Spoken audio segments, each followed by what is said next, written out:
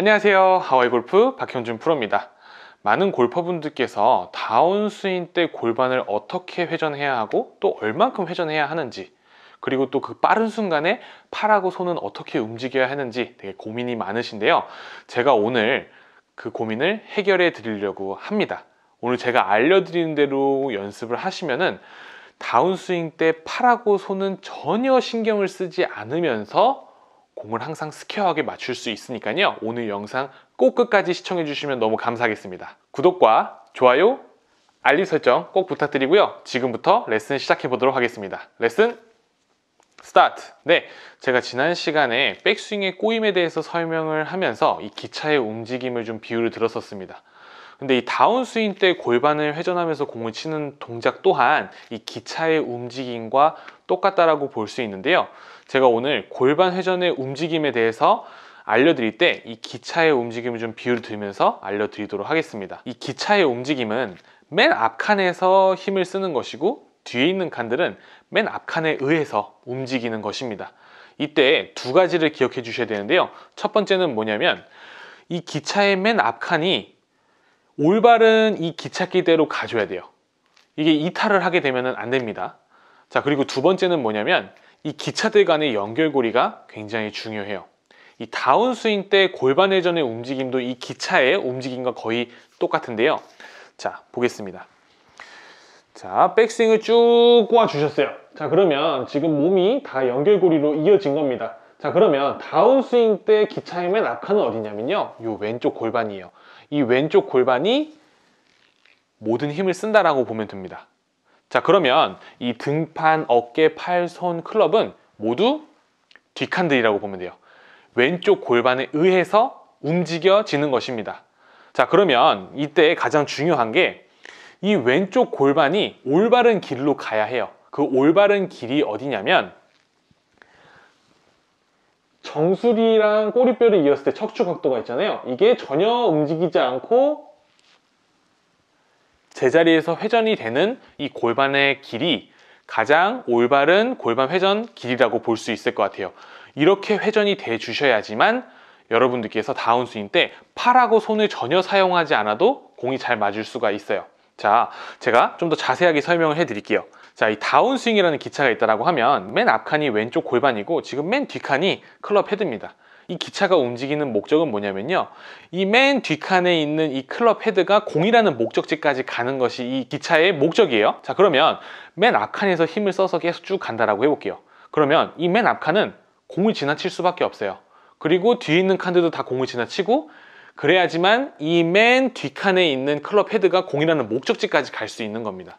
자 그러면 스윙을 할 때 실제로 왼쪽 골반으로 공을 이렇게 치는 건 아니에요. 그렇지만 분명히 공이라는 목적지를 지나가는 그 길이라는 게 있다는 거예요. 그게 바로 제자리에서 몸이 회전이 돼주는 겁니다. 요게 워낙 좀 말로 설명하기 어려운 부분이기 때문에 제가 다음 레슨 영상 때 아마 드라이버 골반 회전에 대해서 설명을 할 텐데 그때 좀 더 이 골반이 제자리 돌아야 하는 이유에 대해서 좀 더 자세하게 또 설명을 해 드리도록 할게요. 죄송합니다. 자 그러면 이 골반이 올바르게 회전해야 되는 지금 방향은 알았어요. 자 그럼 두 번째는 뭐냐면 연결고리입니다. 연결고리가 잘 연결이 돼 주셔야 돼요. 그 연결고리가 뭐냐면요 백스윙 때 몸이 꼬아주는 것이 연결고리인데 이 연결고리가 잘 계속 연결이 되어져야지만 끊어지지 않아야지만 이 클럽 헤드가 공이라는 목적지까지 갈 수 있는 거예요. 그게 뭐냐면요. 몸에서 꼬임을 만들어 줬고 어드레스 때의 체중이 앞에 있는데 이게 그대로 유지가 되고요. 그리고 허리가 숙여져 있는 각도가 계속 그대로 유지가 돼 있는 상태에서 몸이 꼬이고 그 상태를 그대로 유지해서 몸이 회전이 돼 주셔야 돼요. 그러니까 다운스윙 때 어드레스 때 척추의 각도, 이 숙여진 각도와 체중이 계속 앞쪽에 있어 주셔야지만 왼쪽 골반이 올바른 방향으로 회전을 했을 때 저 지금 팔하고 손으로 클럽 내리는 거 아니에요. 골반이 도니까 이 클럽이 골반에 의해서 딸려오는 겁니다. 마치 기차처럼요.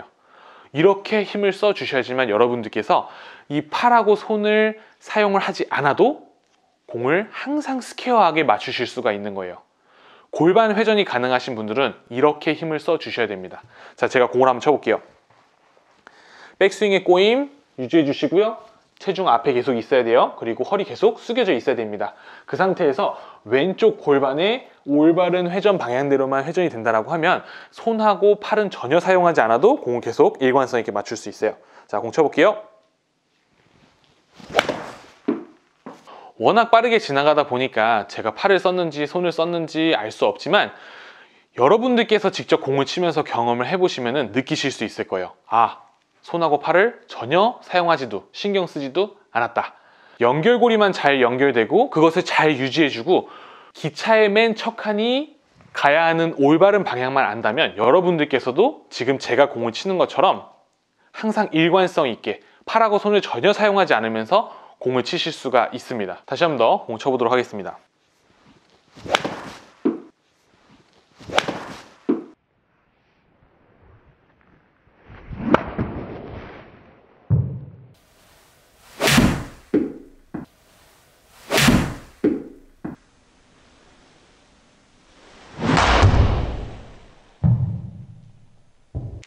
제가 오늘 최대한 간단 명료하게 알려드리기 위해서 이 기차 움직임을 좀 비유를 들면서 설명을 해 드렸는데요.